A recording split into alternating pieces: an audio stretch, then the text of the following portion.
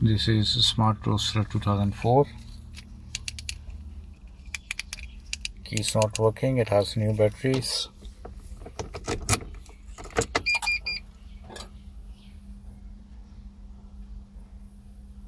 The key sign is coming again and again.